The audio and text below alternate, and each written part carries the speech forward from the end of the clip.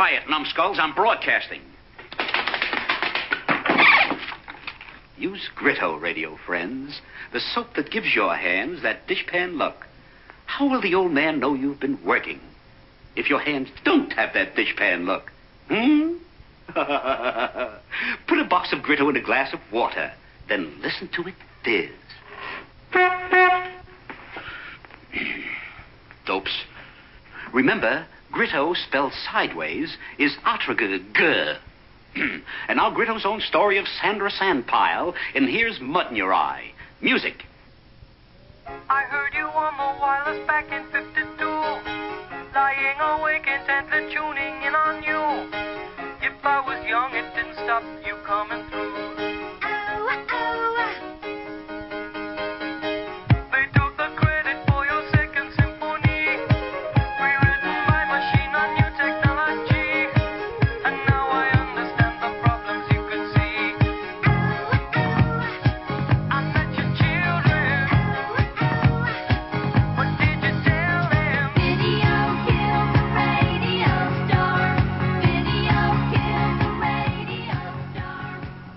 Hello, everybody. Welcome to another fantabulous edition of The Glowing Dial here on Yesterday USA Radio. Big John and Steve coming at you here with another 55 minutes of old time radio memories. As you requested. So, yeah, so say, say hello to the listeners, Stephen. Hello there, listeners. As you requested, 55 minutes of OTR. That's what you wanted to hear, and that's what we give you. I wonder how you say OTR sideways. Atragagag. Atr- No? Oh, okay. I'm just wondering. So we're, we're a little giddy after coming back from the uh, from the uh, Cincinnati 11th annual Old Time Radio and Nostalgia Convention. Yes. Oh, that was fun. Just this past weekend, we uh, had the usual fun in the dealer's room, blowing all our money, and um, well, we saved enough for gas to get home, but for groceries when we got home. anyway, uh, just lucky my tax return showed up in time. Boy, we met. Uh, who did we see there? We saw uh, Peg Lynch and Parley oh, Baer Peg Lynch. Oh, doing uh. Ethel and Albert sketches, which were just. If you like the Bickersons, these are a little different, but they are just hilarious and they're timeless. They're not so argumentative, but you can tell No, there's dif- dis- distinct differences between Ethel and Albert. They don't agree on everything. Right. I mean, these sketches were even new. I think Peg wrote these for these conventions. I don't know if they were original s- scripts or not. I don't know if they're I think they're newly written. Yeah, they could have been newly written scripts. And but she's, based still on got the same know. way. Uh, I had never heard any of the old ones, but uh, we picked up a bunch, and uh, we're going to be playing you some of them in upcoming shows. So uh, it was just a, a great time, and uh, also the Boogie Woogie Girls were there, and uh, Oh. with, with uh, the ever talented Ed Clute on the keyboards. Oh, wonderful maestro, Ed Clute. Very and good. those three girls are, uh, boy, the closest thing to the Andrews sisters I ever heard. And so much so that I picked up their tape. Two of them are mother-daughter, and then I guess the third is the friend of theirs or Mhm, something. Yeah, but they, they And they're and they're going around the country too. They go into yeah, they do a lot of the locations, too, so- OTR uh, OTR shows, conventions, and uh, nostalgia conventions and things like that. They pretty much do like 30s, 40s, Andrew sister type As harmony, Andrew sisters. har- harmony type And they do stuff. it very well. Mm-hmm. Yeah, very nice. So, um, you see here, um, want to remind you to get yourselves a pen or a pencil and something to write on. I have one. No, the audience. Can I bar- the oh. listening audience. It won't go through the microphone. I can't get it. No, you'd probably hit some guy in the eye. Or the ear if he's listening through a headset, you see. Oh, And yes. it would be, never mind. I'm sorry. Get the lead out, will you?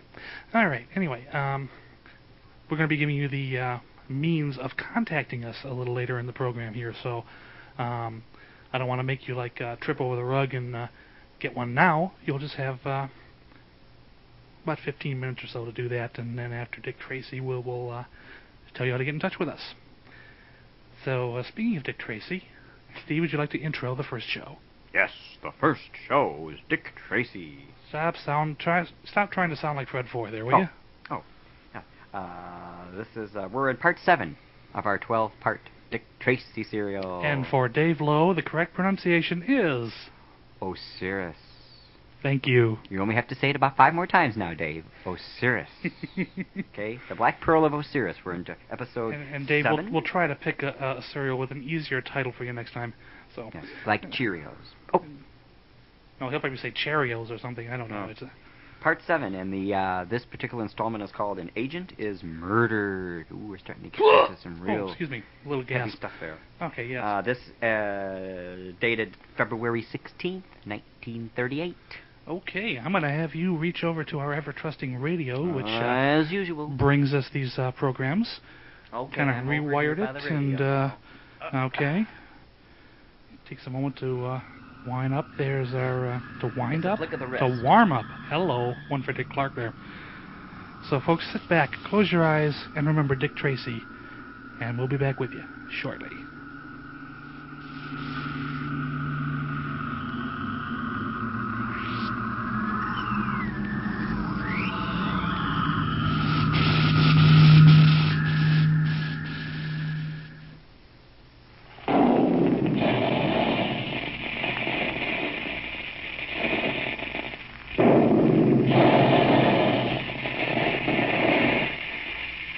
Calling all adventure fans, calling all Dick Tracy fans. Stand by. Dick Tracy is on the air.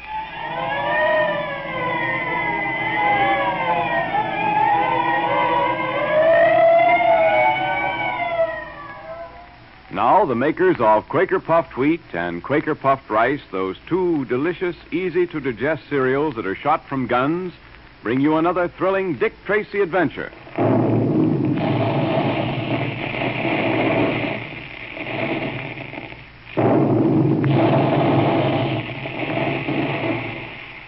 Hear that?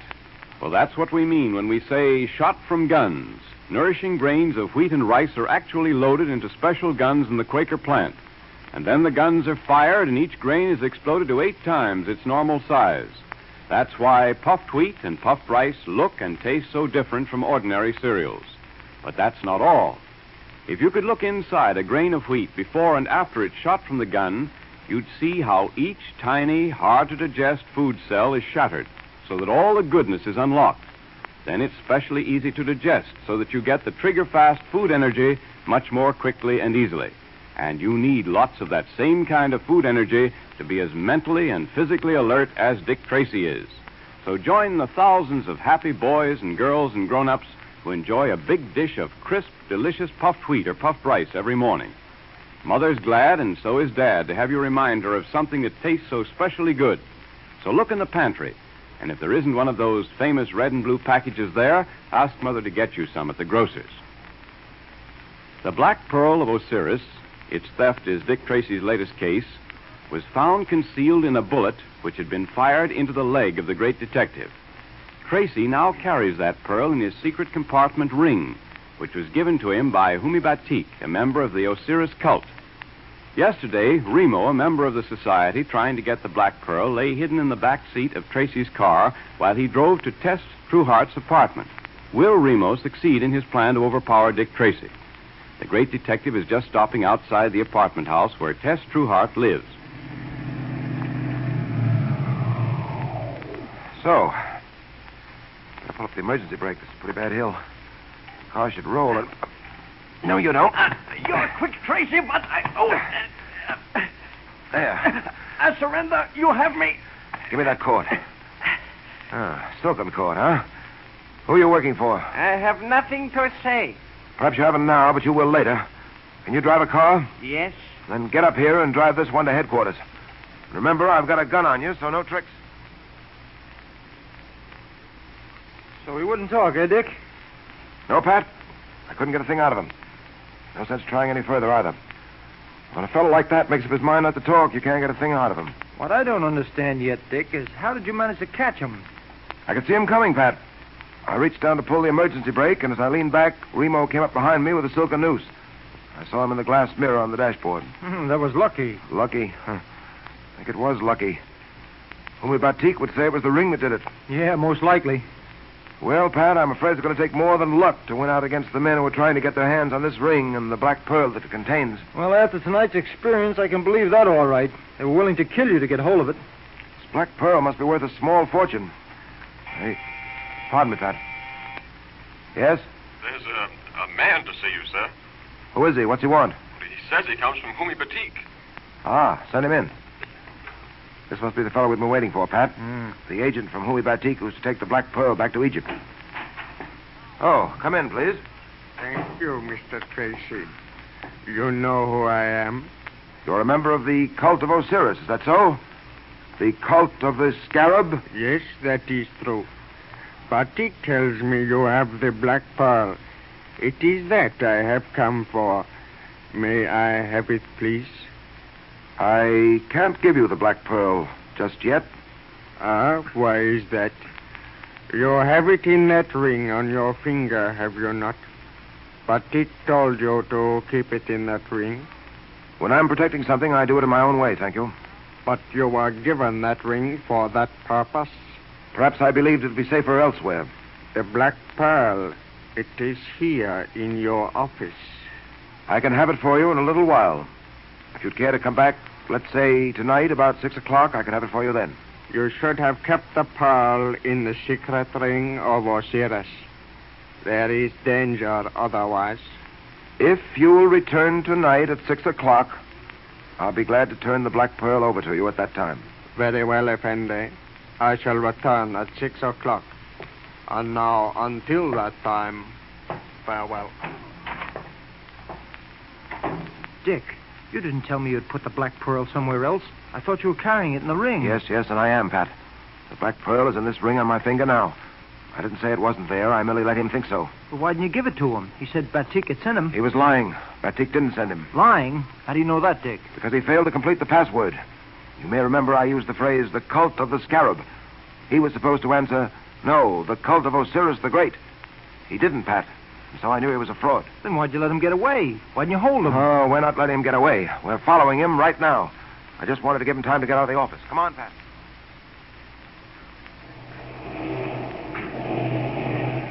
He's getting into that cab. Yeah, a taxi. Uh, where to, mister? Follow that cab up ahead. Keep it a safe distance. I don't want them to know we're following. Hey, wait a minute. I don't want to get mixed up in no kind of trouble. I'm Dick Tracy. My badge. Dick Tracy. Holy smoke. Okay, sir, anything you say.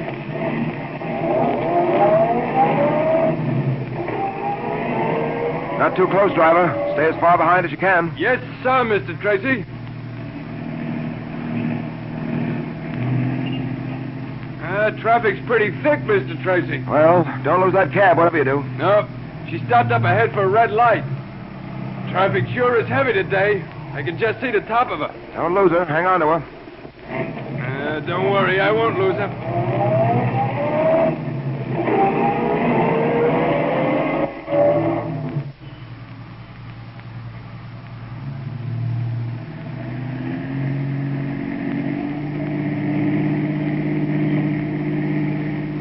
Hey, that cab's pulling up to the curb. Hey, that's funny, Dick. What is? Well, this is the ritziest section of town. Yes, yes, I know. Stop here, driver. Okay. Look, Dick. The driver of that other cab is getting out and opening the door of the cab. He looks excited. Yes, yes, there's something wrong. Come on, Pat. Come on.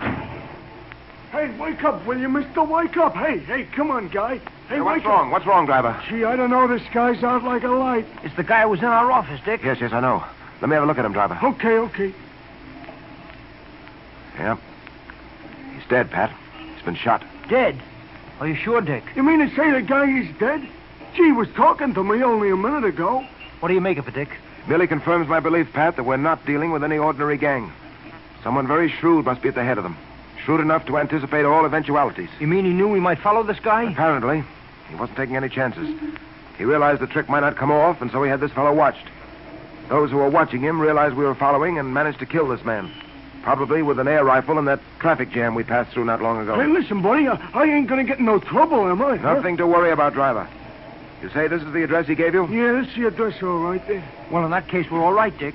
This must be the headquarters of the gang. I doubt it, Pat. I doubt it very much. He probably gave the wrong address.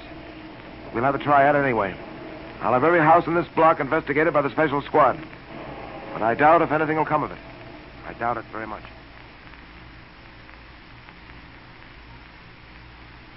Ah, Mr. Tracy, welcome. Welcome to my uh, my very poor abode. Hello, Batik. Well, you won't be in this very poor abode long. The Board of Inquiry is working overtime on your case. You you have been very kind, Mr. Tracy. The blessings of Osiris be upon you. Thank you, Batik. By the way, You might be interested to know that an agent of the society tried to get the pearl. Oh, the fiends. They will stop at nothing. I am so glad I gave you that ring. You are carrying the black pearl with you, of course? Yes, yes, it's right here in this ring. I would like to see it, if I may. Oh, certainly. I'll take the top of the ring off and. There. Oh, Osiris be praised. How wonderful to have the black pearl in our possession once again. Oh, Mr. Tracy, how can I thank you? How can I put into words my gratitude? Don't bother, Batik. I'm only doing what I promised to do. Tell me, when will your agent call on me for the black pearl? Oh, very soon. He is busy on other matters at the moment. The way must be made clear for carrying the black pearl back to Egypt. When that has been done, he will come to you. also, he is engaged on another matter, a matter of great importance to the young man, Junior. Junior? It is obvious you think highly of that youngster, that you have the highest regard for him. Oh, that's true enough. I shall have a surprise for your young friend in a few days, I hope. I am sure he will be very pleased. Well, you can't tell me about it now, I suppose. Well, Uh, don't, no, don't. I think I can guess. Well, Batik, I must leave you now. Depend on it, the black pearl is safe in my keeping, and I shall guard it carefully. farewell, my friend, and many thanks to you for all your kindness.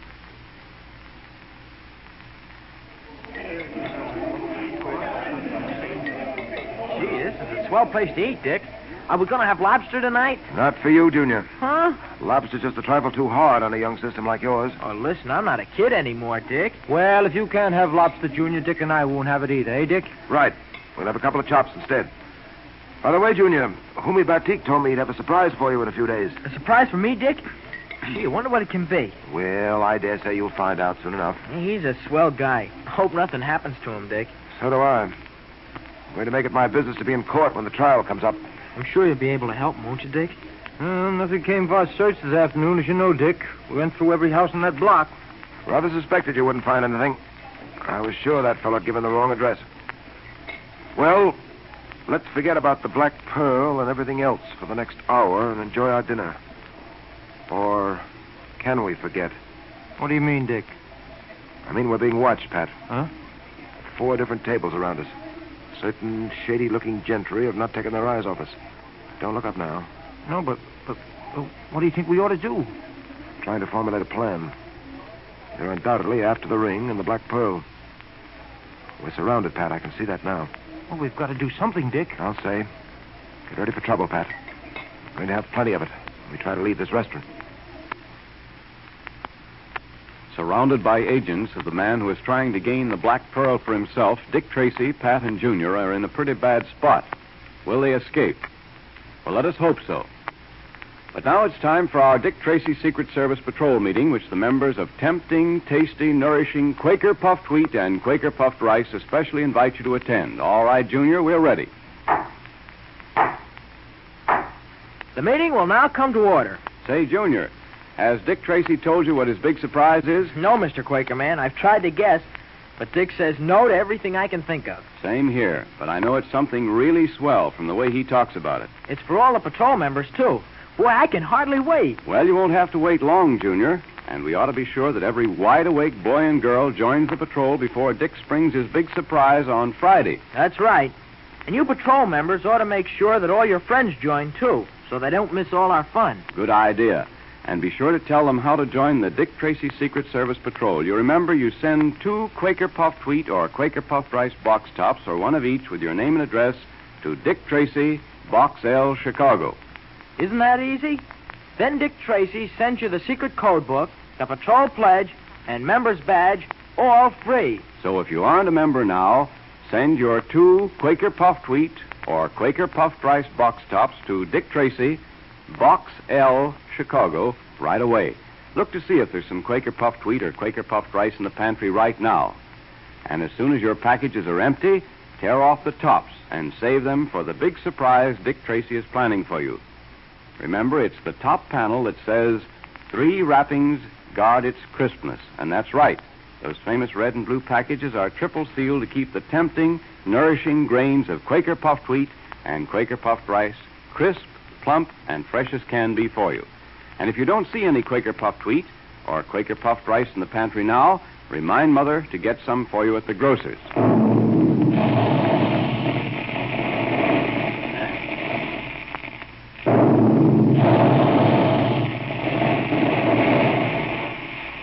Tell Mother how Quaker puffed wheat and Quaker puffed rice are shot from guns to make them especially easy to digest as well as especially good to eat. She's glad to have you tell her, and you'll be able to start saving your box tops for Dick Tracy's big surprise.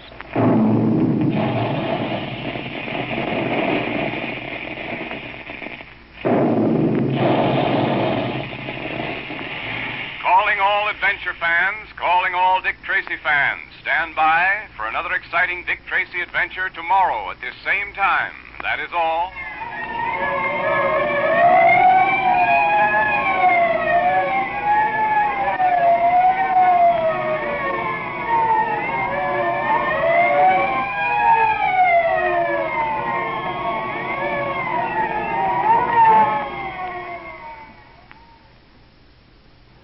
Have it, folks.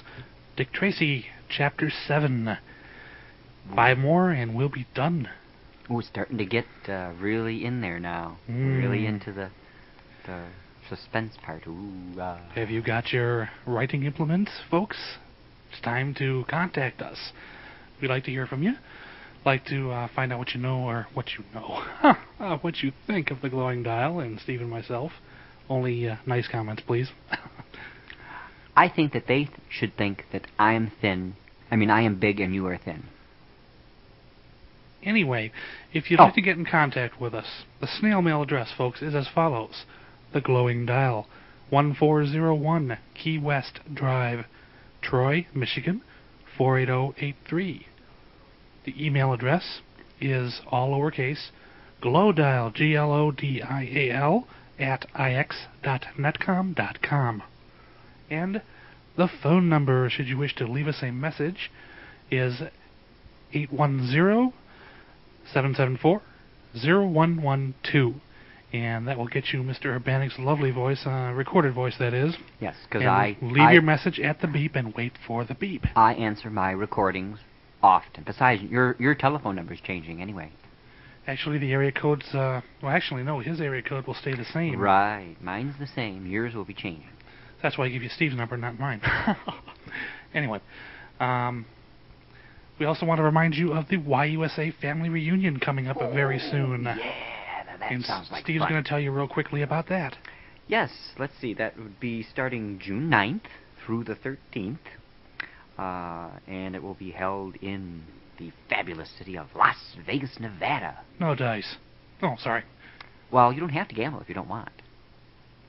I'll bet. yeah. Roulette. Oh, Mhm. yeah. And through our uh, uh, travel agent at CNC Travel in Texas, there, Dallas, I guess, uh, Kathy. Uh, her last name starts with R or something or other. It was a long, long name, but we'll just call her Kathy. Okay, Kathy R. Kathy R. You can get in touch with her if you are interested in attending the reunion. You can call her at 1 800 813 0080. And she will get you, uh, do the best she can to get you a good flight, uh, or good rate for a flight and uh, the hotel. But time is running out, so yes, she she has a block of rooms uh, reserved, I believe, but time is running out, so make those yes, reservations the flights now. will be the first to go up. You'll play double if you wait too long. So. And uh, Big Steve and myself will be out there, so uh, you get a chance to meet us. I'll have trouble sitting in those seats. I That's worth have to have going alone, just a chance to meet us. Anyway, Steven, what's our next program? We got to get into it here before we Oh, run out of time. let me pick up my folder. He leans away from the microphone. Yes, here we go. And the second program for today is Space Patrol. Yes, we haven't played one of Trying to do a those. So that sounds like an interesting one. We picked this up at the convention, so I'm interested in finding out about this show. Yes. Uh, ABC Network. Uh, episode is dated 32153, Mm-hmm. called The Caverns of Venus. Ooh. And uh, Buzz Corey and Cadet Happy are the two main characters in there. ABC Network, and I believe the sponsor at that time was Ralston, but we'll see what the tape Yes, says. it says. It says Ralston. Ralston. That's what Mhm. the, the, the sources say. Ralston is correct. So, Steven, reach over to our friend the radio and warm it up again for us if Hi you there, would. radio. Warm it up, please. There we go. Familiar static. Folks, sit back, close your eyes, and remember Space Patrol, and we'll be back to say goodbye.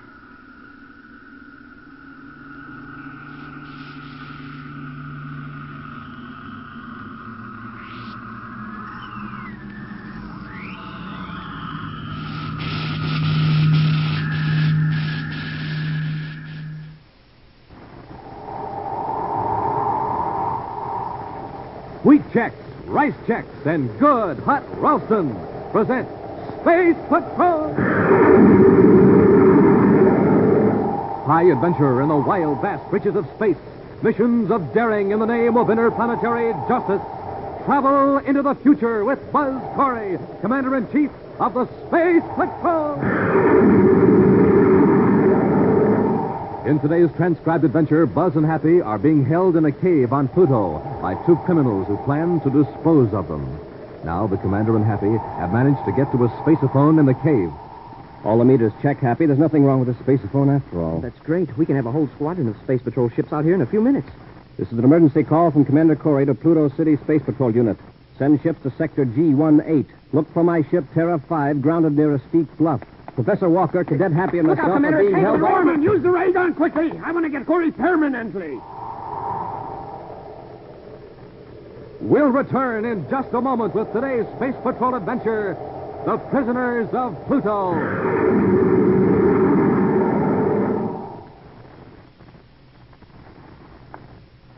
Hiya, gang. This is Captain Dick Tufeld speaking. I'm just having myself a stroll down the street before I turn in for the night. Uh oh, what's that light blinking in the window of that house across the street? Say, I'm going to investigate. That light's a signal, and it's a Space Patrol code system. It says, Be sure to tell the boys and girls how to get a Space Patrol pocket projectoscope. Hey, that's a real projectoscope that boy's signaling with. Gang, I'm going to get him to tell you all about his projectoscope because you can have one too. I thought that'd bring you running, Captain Tufeld. Come on in. Boy, am I glad I sent for this projectoscope. It's really something. Tell the gang all about it, Space Patroller. Well, kid, it's not only a key signal light, you can use it as a film projector in a dark room. Watch me flash pictures with it on the wall, Captain. There. See that picture? That's a picture from a Space Patrol adventure called Mighty Meteor. And it comes with your projectoscope on a strip of film with three other swell stories called Space Pirates, Men from Mars, and Robot Invasion. And Buzz Corey and Cadet Happy are in them, too. And, gang, on this one film, there are 24 different pictures.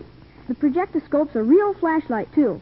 A flashlight in the shape of Buzz Corey's rocket ship. And it's a winner for looks. A neat six inches long, made of smooth, tough plastic, with four big tail fins and a one inch radar antenna.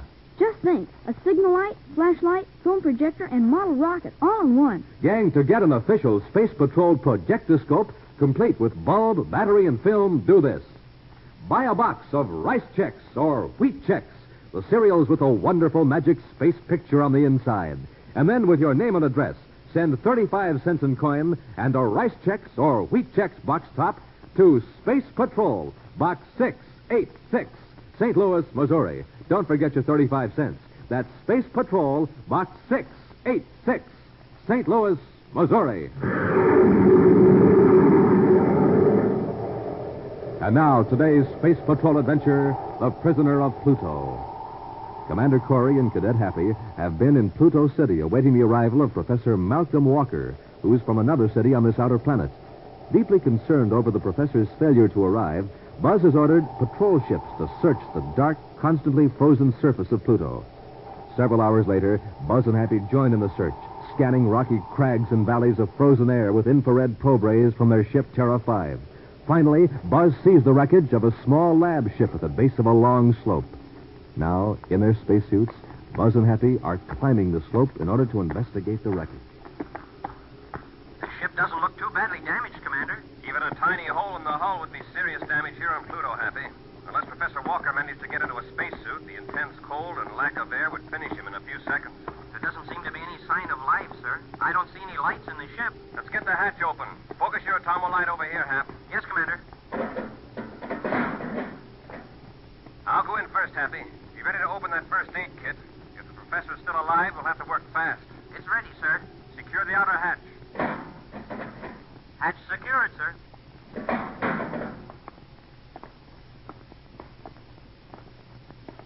Well, he's not in the control section. Want me to check the aft compartment, sir? All right. He may have sealed himself in after the crash. Hey, wait. What's this on the control panel? That looks like a note, Commander. Hold your light on it. Ship crash due to instrument failure.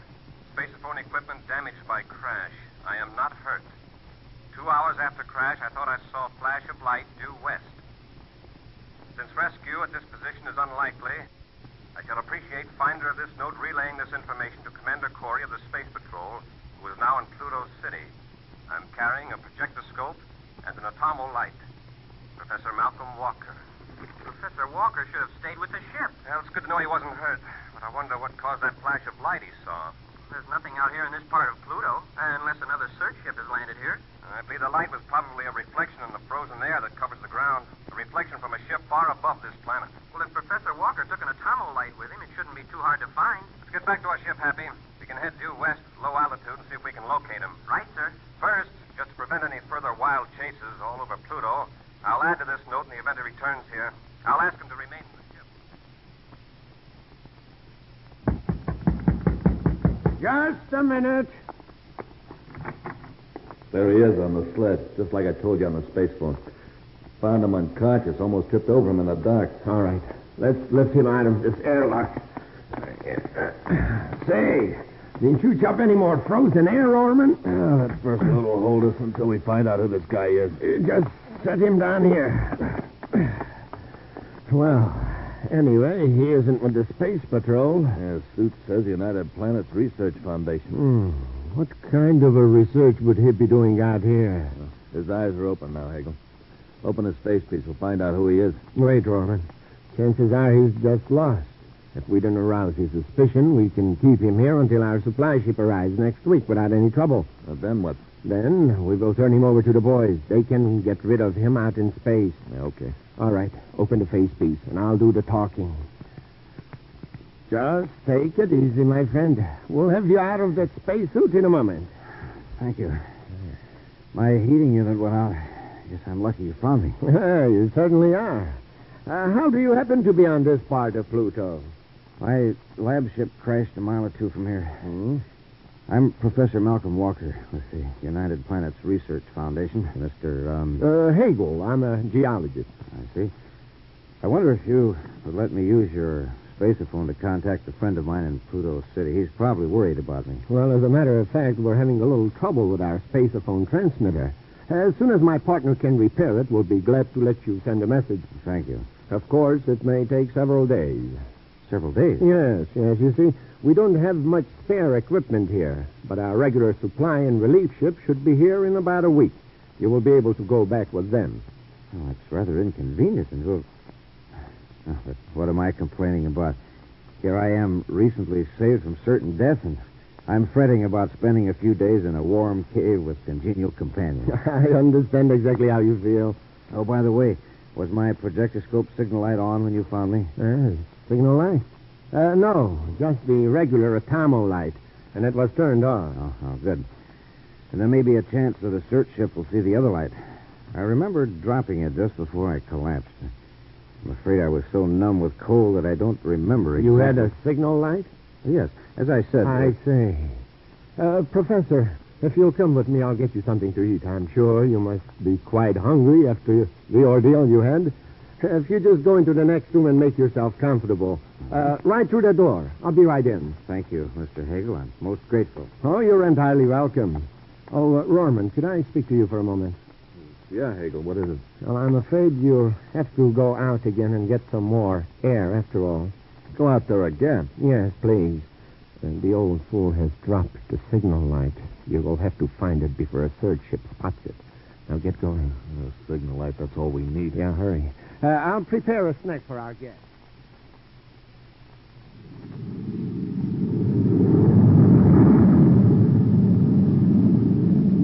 Well, there's not a sign of anybody down there, sir. Keep your eye on the viewscope, Happy. The professor couldn't have gone much farther than this on foot. They'll circle back and cover the area again. He may not have headed due west after all, sir. Shouldn't the infrared beam have picked him up by now? Unless he's fallen into a crevice. Yeah. yeah then that would account for our not seeing the lights he said he was carrying. It doesn't look too good. We better send for more search ships. Spaceophone Pluto City, Happy, but still keep an eye on the viewscope. Yes, sir. Cadet Happy aboard Terra 5 calling Pluto City Space Patrol. Cadet Now, Happy hold aboard... it a minute, Hap. Check your transmitter settings. Yes, sir. Seems all right to me. Oh, oh, I forgot about the new double scrambler circuit. You were on two frequencies, Pluto City and Terra headquarters. Yeah, I'll have to watch that. Terra would probably wonder why we were bothering them with a Pluto search problem. The double scrambler is a good security measure, Hap. We can send the same message in two different codes, and no outsider listening in can tell if the same message is being sent. Now, well, I've got it set for Pluto City alone now, Commander. Fine, Hap. Look, and look, it's a, there's a projectoscope light, Commander, down there on the ground. That must be Professor Walker's light. Happy, hold that call until we can land and do some investigating. All right, Commander. Why doesn't he turn it back on? Must have seen our ship lights. Well, got a rough check on the location. Shouldn't be difficult to find him now.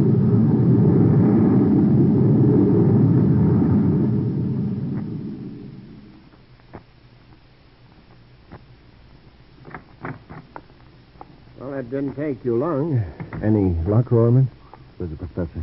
He was in the next room eating. I found the light. It Oh. fallen into a narrow fissure in the rocks. Was it on? Yeah, pointing downward. I doubt if it could have been seen from a ship. Certainly had a close call at that. What do you mean? Uh, just as I was picking up the light, I caught a glimpse of a spaceship's light over to the north. Quickly shut off the light. You certain they didn't see the light? I'm almost certain. They'd have had to be looking right at it. Anyway, they wouldn't see anything out there now, even with their brightest Atomo search beams on. You're right. They never see the airlock opening unless they landed and stood right in front of it. That was a delicious supper, gentlemen. Thank you very much. Oh, you're quite welcome, Professor. Uh, now, if you'll come with me, I'll show you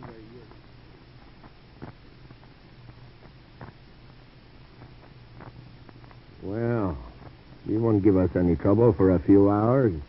You asleep? Yeah, dropped off the moment he laid down. Look, Hagel, why can't we get the supply ships here quicker? We can space phone them tonight. That would be pretty stupid, Rorman, with search ships flying around this area. In a week, they'll have given up the search. Then it will be safe for the supply ship to land. I'm sick of hiding out in this cave. We've been here ten months. Surely the Space Patrol isn't still looking for us after all that time. Well, I'd rather be here than in some Space Patrol detention center, undergoing suspended animation Yeah. I'd like to know how this differs from suspended animation. Now, listen, you hear that? Sounded like somebody in the airlock. Hagel. Look. Sorry if we startled you. I'm Commander Corey of the Space Patrol. Yes, Commander. We were startled. You see, we weren't expecting company. We're looking for Professor Walker. Professor Walker?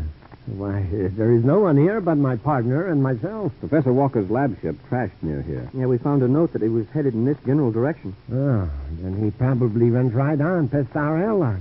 we often miss it ourselves. I don't imagine he's very far away. You're sure you haven't seen him? Oh, no. No, we haven't seen anyone.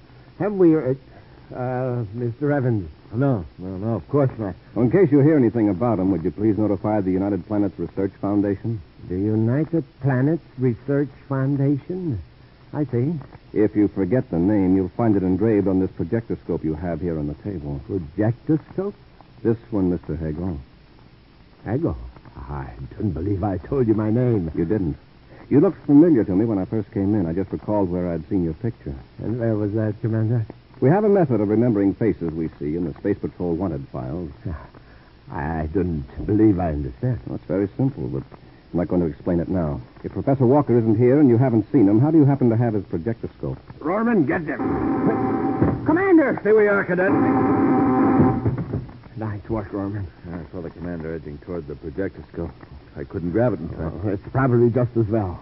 Corey and the cadet have forced our hands. Now we'll have to play it safe.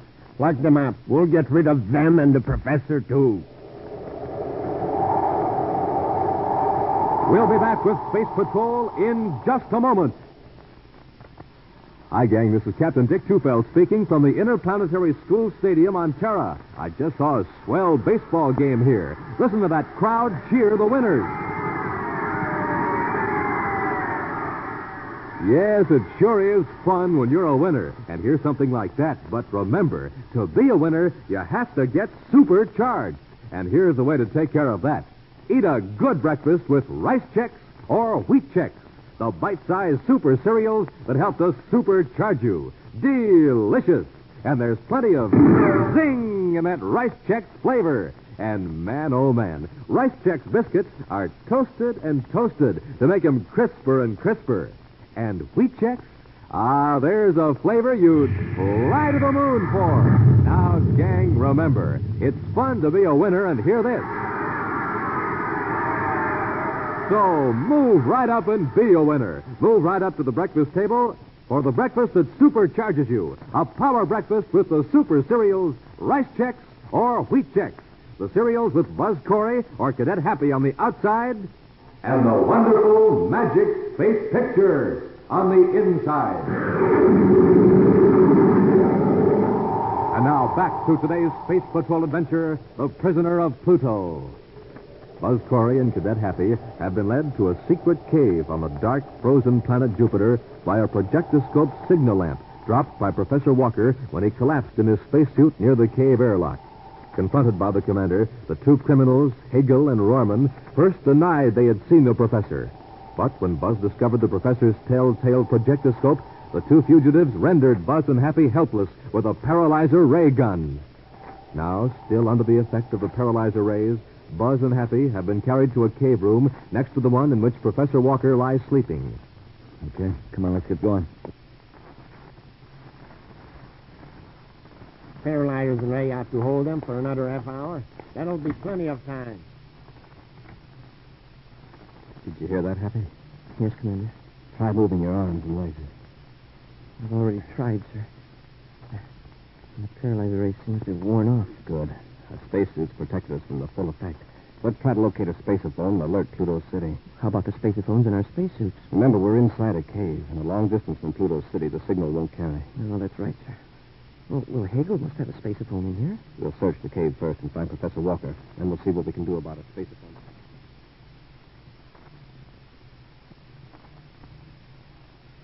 Professor? Professor Walker. Oh, wake up, Professor. Huh? What? What's going on? Who are you? I'm Commander Corey of the Space Patrol. Of course. Uh, Commander, am I still in the cave? Yes, Professor, you are. Well, that's a relief. I'm afraid I owe Mr. Hagel and Mr. Rorman an apology. You do? Yes. For a brief moment a while ago, I, I suspected them of trying to keep my presence here a secret. Isn't that ridiculous? I suppose it was due to my fatigue and fear after cracking up. Now, listen, Professor, there isn't much time. Your suspicions were correct. Hagel and Rorman are criminals. What? The Space Patrol has been searching for them for months. You happen to stumble on their hideout. Then you captured them? Mm, not yet, but we will. We'll need your help. Where's the spaceophone? Spaceophone? Uh, they told me it was out of commission. Well, I'll bet they've got a spaceophone around here somewhere. And in good working order, too. Well, we'll check. Professor, better get your spacesuit on. Be ready to move out of here in a hurry. I certainly will, Commander. Come on, Happy. We'll try to locate Hagel's space.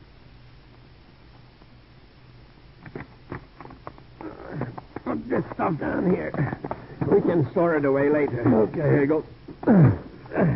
Say, this is a real haul. We got quite a load of supplies out of their ship, didn't we? Yeah, we sure did. Now, let's get the three of them and put them on Corey's ship. Uh, have your ray gun handy. We may have to give them another blast. All right. Are you sure you can make the ship crack up look like an accident? Well, just leave it to me. We'll take Corey and the cadet to the ship first, then come back for the professor. Wait. What is it? I hear voices in the spaceophone room. Be quiet. I'm going to open the door. All we need is check, Happy. Nothing wrong with this spaceophone. That's great. We can have a whole squadron of space patrol ships out here in no time. Well, here we go. Emergency from Commander Corey to Pluto City Space Patrol. Send a patrol unit to Sector G18. Look for my ship, Terra 5, grounded near Steep Bluff. Professor Walker, Cadet out, Happy, and Commander. myself are being held captive. Rorman, buzz them with the ray gun, quickly. Uh, that takes care of them. Switch off the spaceophone. We got to get them to the ship in a hurry now. Space Patrol Pluto City calling Commander Corey. Message Hagel, they received. heard you. Hmm? We have established a fix on your location in Sector G18. Rescue ships will be dispatched immediately. Space Patrol Unit Pluto City out. Confound it. Hagel, what are we going to do now? We can't wreck Corey's ship. Those rescue ships would eventually locate the cave. Well, can we contact Jackson and Trask? Maybe they can get here before the space patrol arrives. We can do better than that. We can get away from here in Corey's ship. Yeah, but who's going to pilot it? Where will we go? You don't know astrogation, neither do I. Oh, I can get it spaceborne. After we're off Pluto, we'll wait till Corey and the cadet come out of the ray gun effect. Then we'll force them to take over and take us to Mars. Yeah, but what about the professor? Well, if we take Corey, we'll have to take Walker, too. He'll be a good protection for us in case we're intercepted before Corey revives. All right. Let's get him into Corey's ship. It Won't take long for the patrol ships to get here. We'd better be gone when they do it.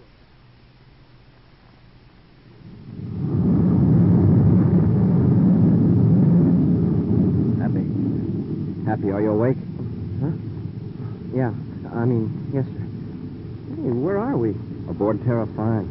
Commander, you got us off Pluto. Uh, the last thing I remember was having Hagel and Rorman surprise us when we were using the spaceophone. How did you manage to get us away? I'm afraid I didn't. Hagel and his partner put all three of us aboard our ship. Oh. Yeah, Commander, Uh, yes, Professor? I uh, don't suppose you know where they're taking us. No, I don't. Do you? To Mars. They were talking after they used the ray gun on you and the cadet. To Mars? Why would they risk discovery by blasting off in my ship? Well, you see, the Pluto City Space Patrol unit replied that they had established a fix on the cave and were going to send rescue ships immediately. What? I don't see how that's possible. Hagel and Rorman got us before we established contact with Pluto City. Besides, they couldn't have plotted a fix that fast. It was my voice they heard. Your voice, Professor? Yes, I, I saw them watching you, and I, I knew they'd never let you complete the call. So I used the transmitter in my spacesuit to make them think you'd succeeded. Perhaps it wasn't such a good idea. I'm not so sure. At any rate, it was very quick thinking, Professor. But it didn't have the effect I hoped it would. I thought perhaps if they thought their position was hopeless, Hagel would surrender without harming us. Well, at least it got us off Pluto, Professor. Uh, but we're still their prisoners. And we've still got a chance. Yes, I hear somebody in the next compartment. Oh, you've come out of it, eh? Come on, Commander. You and the cadet have work to do. And if we refuse? Rorman and I can easily find a way to change your mind. All we want you to do is to plot an astrogation vector that'll take us to Mars. Can't you do it? I wouldn't be asking you if I could. There's a lot about this ship that I don't understand. And listen, Corey, don't try any tricks. I'll know Mars when we're close enough to see it. And don't forget, whatever happens to this ship happens to you, too. All right, Hagel. Okay, up to the control compartment then. Professor, you'll stay here.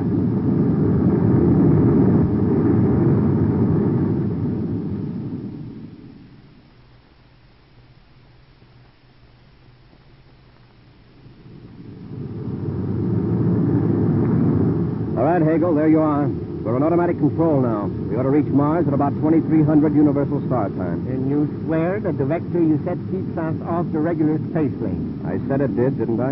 I'm going to watch that viewscope, Corey. And if another ship appears following us, you'll regret it. Well, can we help it if, if somebody sees us accidentally? It'll be up to both of you to avoid that accident. Yeah. Now look, Corey. I want my men to meet us on the Martian plane and pick us up there. Turn on the spaceophone so that I can contact them. No tricks on this either. Mm, I don't know how this thing works, but I do know when the scramble circle is set to the right combination. And which one is that? Scrambler code 31567. Now set it. All right. That's it. Now cut on the transmitter. This is Hagel calling Jet Trask at Saturn City. Hagel calling Jet Trask at Saturn City. I hope he and Jackson are near the receiver. Hagel, spaceborne out of Pluto, calling Jet Trask at Saturn City. Maybe Corey's trying something funny. Spacephone's on, don't worry. Hagel to Trask. Trask here. Go ahead, boss. Uh, Trask, listen carefully. I got a job for you. How did you get off Pluto? I thought Just you were... listen. I want you to take a ship and meet me on the Martian plane, Sector 5G. We'll be there at about 2300 Universal Star Time. Got it. I'll be there. I'll be aboard Commander Corey's space battle cruiser, the Terra 5. You'll be what? Hey, listen, are you making a deal with Corey? Don't be a fool, Trask. If I were double-crossing you, would I use Corey's ship? I've got Corey and his cadet and Professor Walker here at the ray gun point. Okay, Hagel. I'll pick you up at Sector 5G Martian plane at 2300 hours Universal Star Time. All right, Trask. Hagel out. Cut it off, Corey. Rorman, take Corey and the cadet back to the compartment. We'll bring them out again when it's time to land on Mars.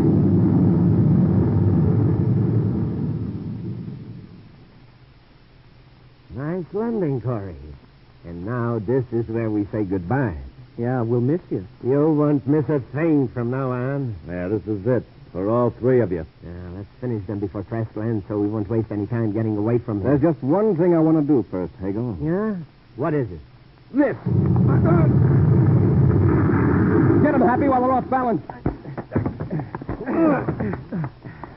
Ah, well, I guess that takes care of our friends, sir. Get their weapons, Happy. Rorman, why didn't you watch Corey? How did I know he was going to jolt the ship with a rocket blast? Anyway, maybe Trask can help us. That's right, Corey. The alert you gave the ship will tip him off that something's wrong. He'll get us out of this. I think you'll find that Trask is having troubles of his own. Have a look in the viewscope. Space Patrol ship. That's right. Where did they come from? You told them where to find us, Hagel. I did? Yes. When you were talking to Trask on one scramble frequency, the same message was being sent out on the regular Space Patrol emergency frequency. Happy, take them back aft and lock them up. And ask the professor if he cares to join us. Right, sir. All right. Come on, you two. Be our guests for a change.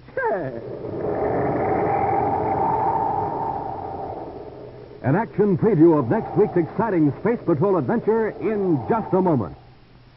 And now, gang, here's Cadet Happy to tell you how you can have fun ten different ways with that swell new Space Patrol projectoscope shaped like a rocket ship. Number one. Show pictures on the wall with it. Two. Use it as a flashlight. Three. Give signals with it at night. Four. Hide secret messages inside of it. Five. Play Space Patrol with it. Six. Light it in a dark room. Looks like a rocket flying at night. Seven. Wire it on your bike for a new and different kind of ornament. Eight. Keep it to dress up your room. Stand straight up on its tail fins. Nine. Keep it by your bed at night. Comes in mighty handy. And ten. Take the bulb and battery out and use it as a roomy pocket case for marbles, jacks, money. Yes, sir, gang. The projectoscope is lots of fun. And it comes to you complete with bulb, battery, and film for showing pictures on the wall. To get a projectoscope, do this. Buy a box of Rice Chex or Wheat Chex. Then, with your name and address, send 35 cents in coin and a Rice Chex or Wheat Chex box top to Space Patrol, Box 686, St. Louis, Missouri. This offer good only in the USA and may be withdrawn at any time. That's Space Patrol, Box 686, St. Louis, Missouri. And now, a preview of next week's exciting Space Patrol adventure. Buzz and Happy are investigating a space factory revolving in an orbit around the planet Venus. Suddenly, they find themselves locked in a freight handling chamber room, floating in the middle of the room. Trowbridge has cut the artificial gravity field. We're completely weightless. Well, how are we going to get down to the floor? Oh, my head. Smoke and rockets, Commander. We fell up, up to the ceiling. There's the floor down there below us. Trowbridge reversed the gravity field. The pull in this room is toward the ceiling. Well, now how are we going to get down to the floor? We'll get down to it all right. The hard way, I'm afraid. Trowbridge will reverse the gravity field from floor to ceiling till he breaks every bone in our body. Be sure to listen next Saturday for the exciting story, The Venus Space Factory, when Wheat Chex, Rice Chex, and good hot Ralston again bring you Space Patrol! Special bulletin for boys and girls in Springfield, Illinois, Terre Haute, Indiana, and Washington, D.C.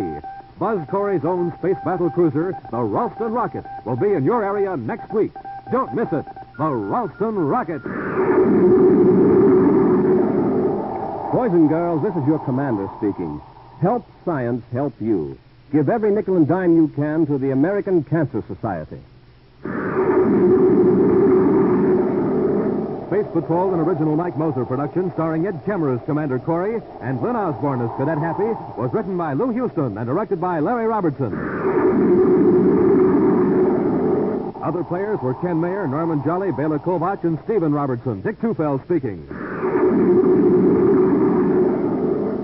Now, don't forget to tune in next Saturday and every Saturday when Wheat Chex, Rice Chex, and Good Hot Ralston again present the new exciting Space Patrol.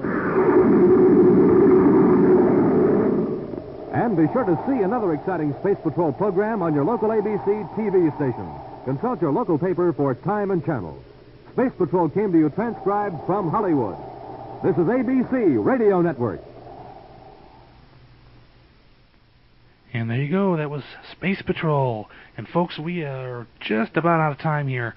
Uh, before Mr. Bragg uh, takes over and gives you some of the station business, we have a correction to make, Steve.